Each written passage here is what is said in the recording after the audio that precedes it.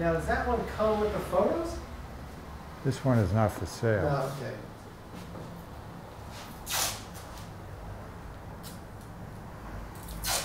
Isn't that a great photo? Yeah. The black and white one. No gloves, ink and blood. When did you start wearing gloves? Uh, I kept thinking I should be wearing gloves. And one day, uh, a girl who was working for Ed came up, and she looked in my little room, and I had customers outside. And she looks in, she says aloud, "No gloves." I sent Fred out for, for a box of gloves.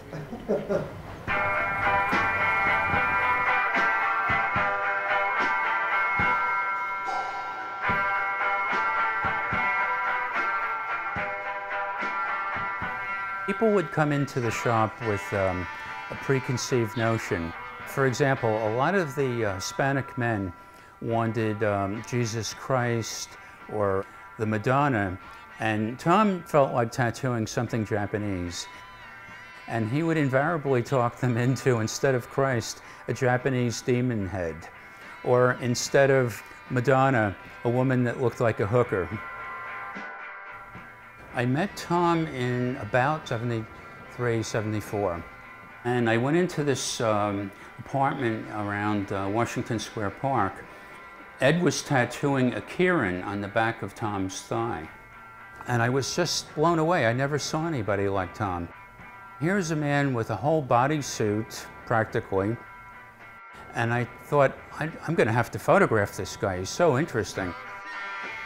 And I said, Can I have your phone number?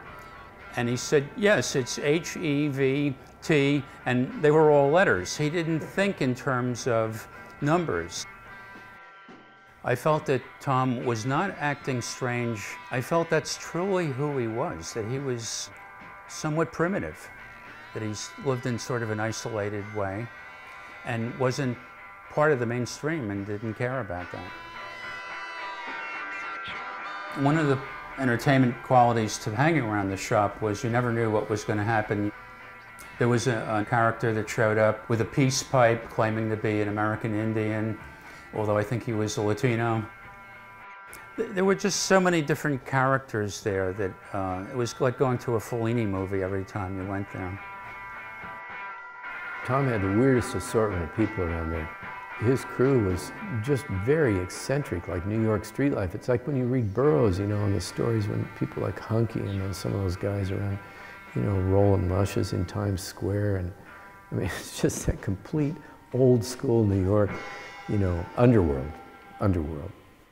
It was a diversity of customers. Later on, he had uh, Chinese gang members coming to him. Customers would be coming in and out all day, all the times I was there and they would usually call from a payphone, say they were in the area, and then usually if Fred Clausen was there, he would go down the three flights to answer the door. Fred Clausen was a friend of Tom's, and he was there almost all of the time. He drew a, a lot of the flash that Tom had. He, he was um, pretty good artist. And that allowed Tom time to just do the tattooing, you know. I remember he paid Freddie 30 bucks a day. That was his, because he would always say, I'm doing this one for Freddie. I do one a day for Fred. He was just like Tom's right-hand guy and gopher and did a lot of stuff for him and drew some of the flash and he was just around. I mean, it was like everything in DeVita's. It was just really amorphous, you know. Malone used to say, I was the only tattooer with a butler. That, that was Fred. He'd answer the door. You know. Answer the door. He was very And- soft-spoken. And and, uh, and Binks, sort of his first tattoo on Fred, which was my tattooing. When he was a little kid, and he, that was the first tattoos he ever saw. oh, because Binks lived near where Fred Right. lived. Yeah. He grew up in the town I grew up in, Point Pleasant, in New Jersey. I might have been 10 years old in the, in the supermarket with my mother. And I saw this really dynamic person. He had this really long beard and tattoos all over his arms. So the first tattoos I really saw, the first you know heavily tattooed person I saw were DeVita tattoos. You know, and later on I met Fred. You know, I got to see the tattoos that blew my mind when I was 10 years old. I got to see in person. So cool and so strong and so personal. I think he, Binks inherited all of Fred's stuff, all of his journals. Oh, yeah. He used to write journals.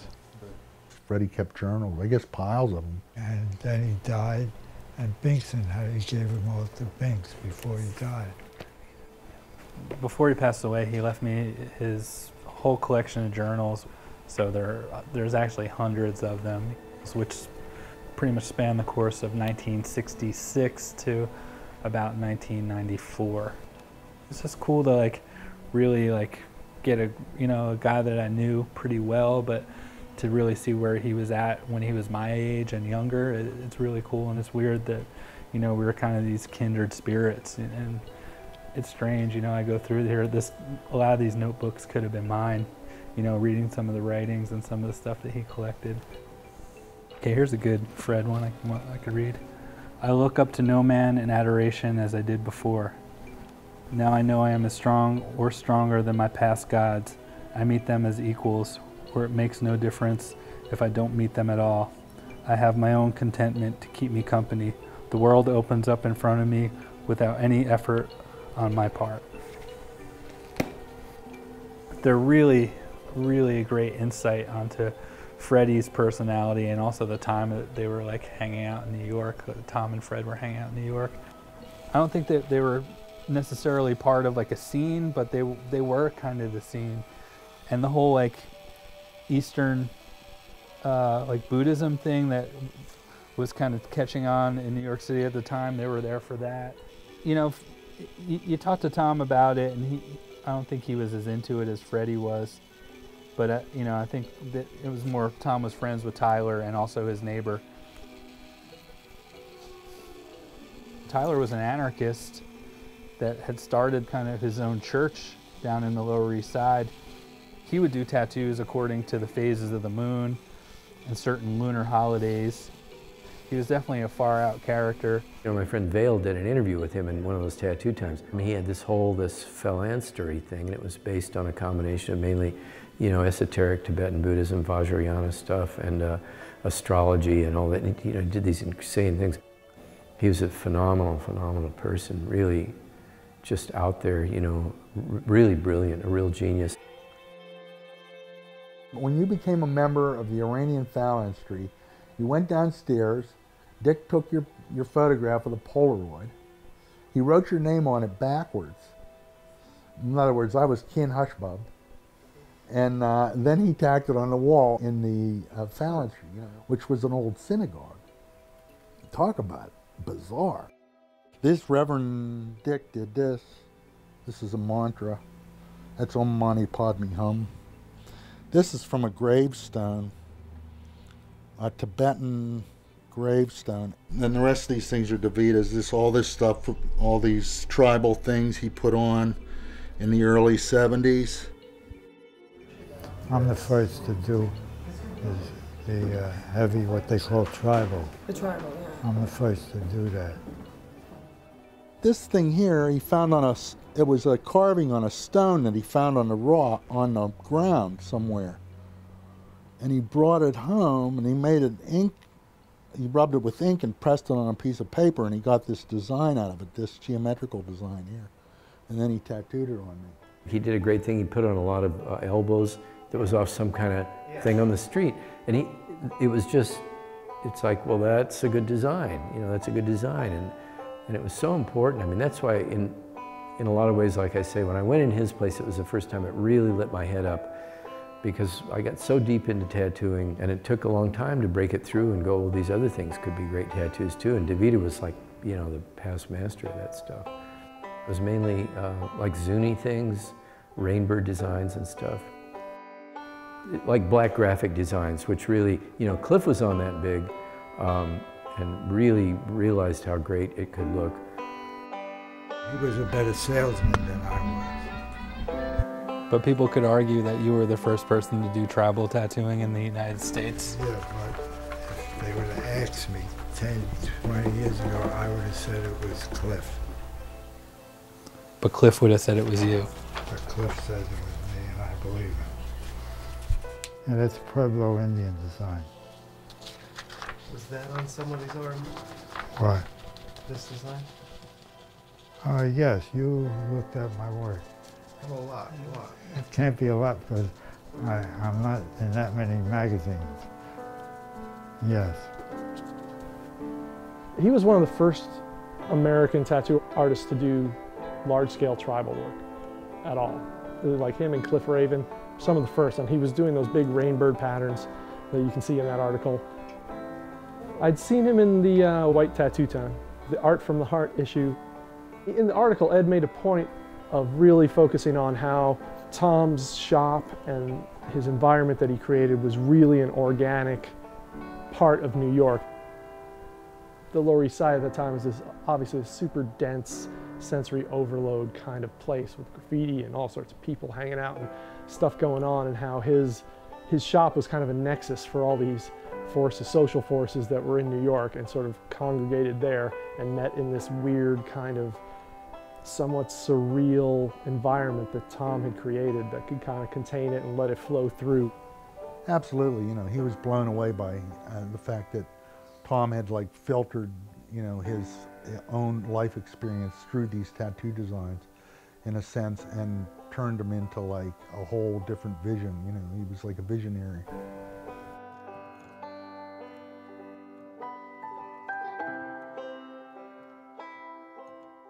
But people generally did not come by, I don't think until much later, they didn't start to appreciate what he had done and what he was doing until much, much later. I mean, years and years later, you know. He never traveled much. He stayed, Tom stayed put pretty much. Occasionally he would go out to California to visit Ed.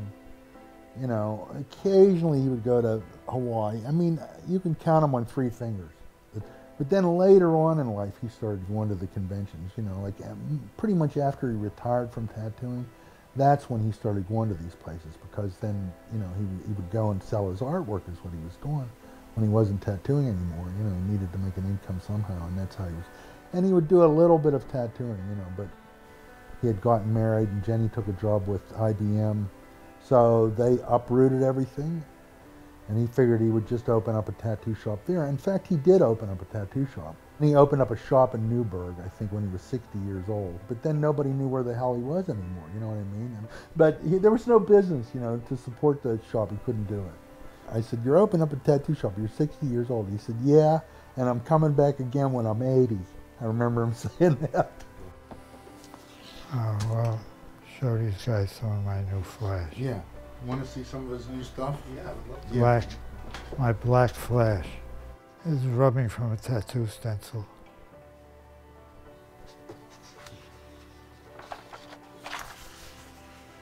And this is meant to be put on a chest this way. I love the new black paintings that he's doing. You know, the black paintings with the colored drawings, the colored rubbings and stuff like that.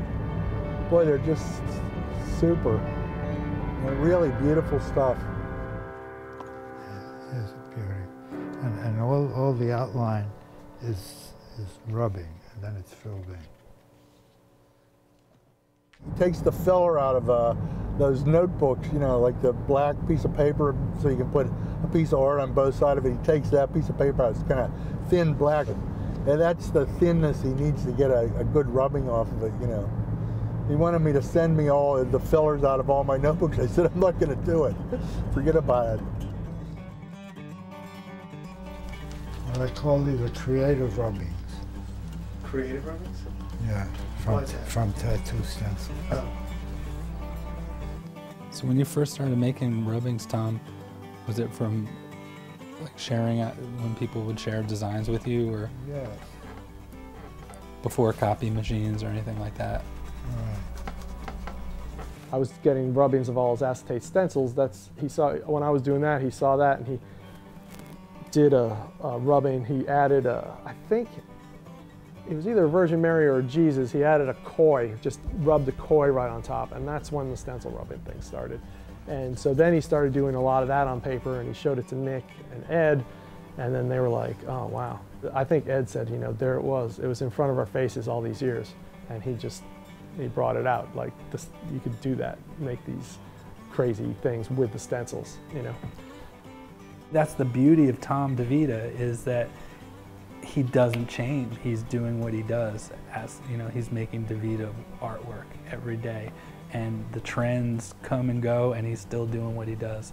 He's kind of like, I, I, I don't want to offend him because I know his, his religious beliefs, but he's like the Buddha of tattooing to me. You know, like it, it's he's just there doing his thing every day with it. You know, not affected.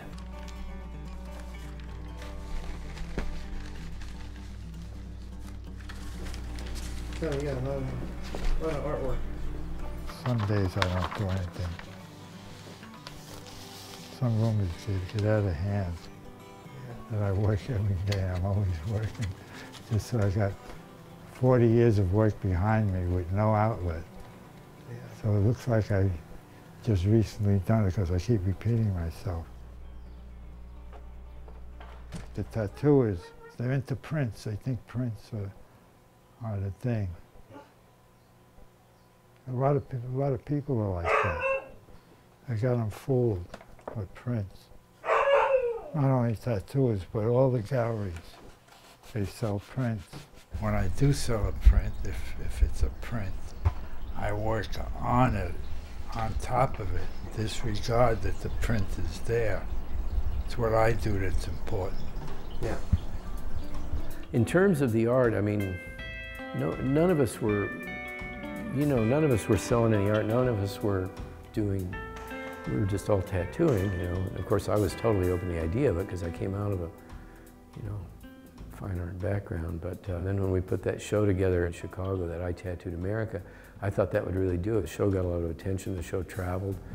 and it was a show of primarily tattoo artists who are also fine artists. So I don't know how many people were in the show, like 30 people maybe or something like that. There's quite a few people. It was one of the big first big art shows of, of tattoo art.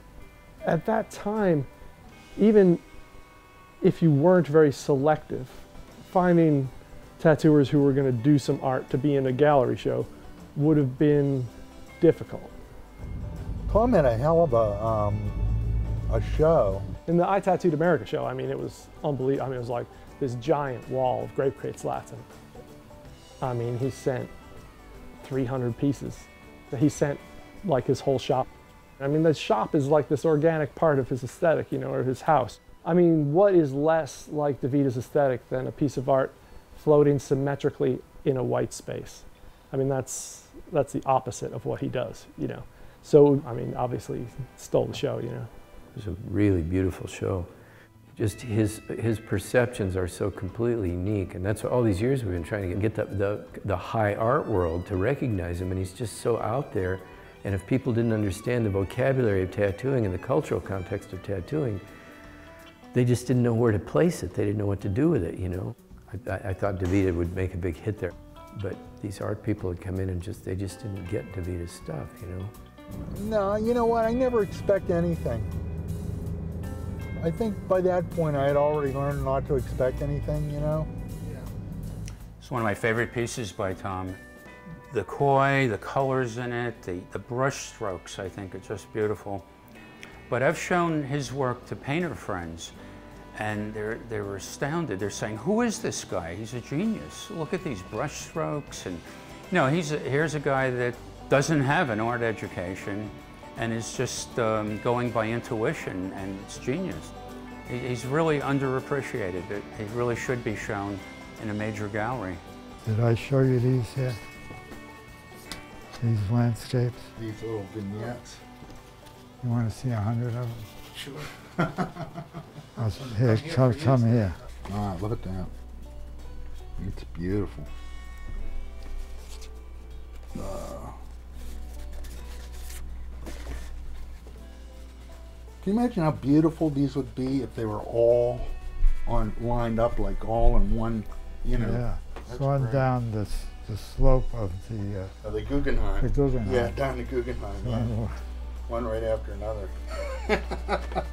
No, I don't think he fits in, and I think that's probably what, why he should be recognized. Uh, I don't know what label that anybody could put on it, but it's very different than what uh, I've ever seen before. This is one of my boxes. The box is a fruit box Oh, yeah. from the, Oh. from, from the supermarket. Oh, I had this in the, uh, in the library art show In Newburgh or in? in Newburgh. I sure have been showing there for about 10 years. And I won about uh, three or four ribbons. We all want to see him somewhere that he's, he gets the, the fame that we feel he deserves and the recognition and the appreciation, but I think he might be content uh, the way it is. First of all, he's 80 years old. How much do you want an 80 year old man to work and hustle and try and start at the bottom of the art game? I mean, that's absurd. He, he does it because that's what he does. I mean, he, he's, he's a true artist. I mean, he makes it if no one looks at it, you know? We, skip, we didn't get to the full uh, resume of his art shows because some of the art shows that he participates in have been at, I think it was called the Newburgh Arts Festival, where they have like, you know, the amateur art shows and he would go and he would set up his little table and he would have exactly what you, you see in his house or whatever these super interesting rough montage things and he would just sit there with the old lady who did the color by numbers painting and whatever he would just sit there Show started already. Oh, I wanted to count how many people come in, so we had the girl next door come in. So you ready Yes, to give your spiel?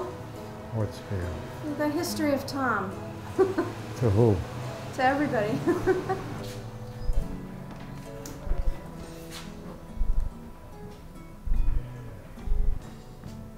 So this is you here doing yes, this? yes.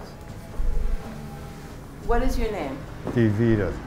Steve, my mine's mm. Carolyn. No, And you live in Newburgh. Yes, my name is Divita. Davi- Davida. Okay, what's your first name? Tom. Tom Davida. I think people have been waiting for you to come down from the hill. i've been trying to get people to appreciate tom for so long and now it's like when people came where those tattooers came in yesterday and were like oh just want to know we really respect you and stuff it just it touched me and it was also like where the fuck have you guys been How you doing, Mr. DeVita? It's an honor to meet you. Thanks. Yeah, definitely. I've been wanting to uh, come and visit you for a while, so I was pretty excited to. Where's your shopping mall? for? Um, right on Main Street, it's called Graceland Tattoo. Yeah, we pass by there sometimes. If I was walking, I would walk by the tattoo shop because I usually don't go into them. Yeah. Because nobody knows who I am. We do. I doubt it. If I, if I had walked in, you would have known who I Well, I was. would've- He would know. Well, I guess you're, you'd be surprised at how many of us know you and look up to you. I know I do. I just want Tom to be happy. And I don't think that like, I mean, I'm sure he'd be happy to have a museum show, but he's a very grounded guy. It would just be another event in, in his week if he had a museum show, I think. You know, I would like for people to keep his mind entertained a little bit. Six months later, they'd come back and want it covered. you know, I would like to see Tom engaged in, in, in the world, in the tattoo world as much as he would like to be, and have people who respect him to talk to him, and you know, just give him some kind of integration into the world. There you go. Beautiful. I love it. Thank you. All right, thank you. Thank you. This is taking longer than I thought. It's, your method is very slow, Tom. I thought it'd be one hour. I'm tired. You're tired. Put a It hasn't ghost- started ghost- yet. Ghost cat. You got nine hours. Here. This one. Where are we going? Why you gotta keep asking me? Just put them up. Because if as soon as I do it under my own uh, direction, you're gonna make me take it down and move it. He, he don't want to make any decisions. He knows, I think he knows the consequences. I'm consequences. not getting paid managerial salary. I'm just a day laborer.